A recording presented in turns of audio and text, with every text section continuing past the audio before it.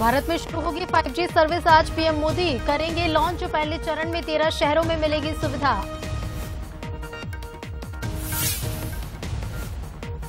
स्वच्छता में इंदौर सिक्सर मानने के लिए तैयार। आ जाएँगे स्वच्छ सर्वेक्षण। 2022 के नतीजे एक बार फिर मध्य प्रदेश दिखाएगा अपना दम। प्रदेश के 10 से ज़्यादा शहरों को मिलेंगे पुरस्कार।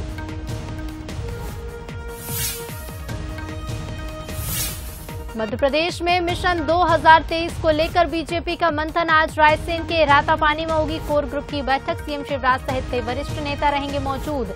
सत्ता संगठन को लेकर होगी चर्चा।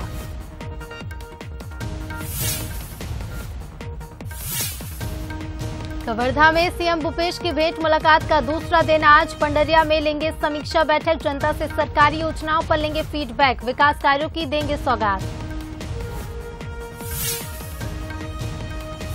मीसाबंदियों की पेंशन रोकने के मामले में छत्तीसगढ़ सरकार को बड़ी राहत, सुप्रीम कोर्ट ने हाई कोर्ट के आदेश पर लगाई रोक। हाई कोर्ट ने मीसाबंदियों को पेंशन देने के लिए शासन को दिया था आदेश।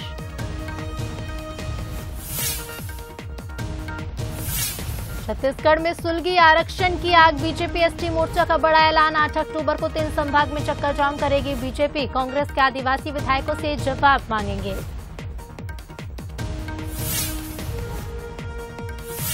जबलपुर जिला कोर्ट में वकील की खुदकुशी के बाद बवाल पर वकीलों ने बार काउंसिल के दफ्तर में लगाई आग। हाईकोर्ट के जज और सीनियर अधिवक्ता पर प्रताड़ना का आरोप।